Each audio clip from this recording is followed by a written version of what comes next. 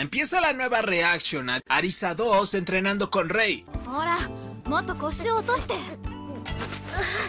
Yoshino que Arisa 2 tiene el pinche Sharingan, nombre que me acabo de...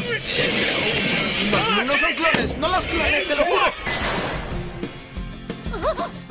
Siempre supimos que Rinko escondía una poderosidad desde que la vimos darse en la madre con Popping Party en el voleibol. A Tamaki o Tama nada más. Este, bueno, Cristian Martinoli lo cuenta él de su propia palabra. Él jugaba para las fuerzas inferiores de, para las inferiores de Toluca.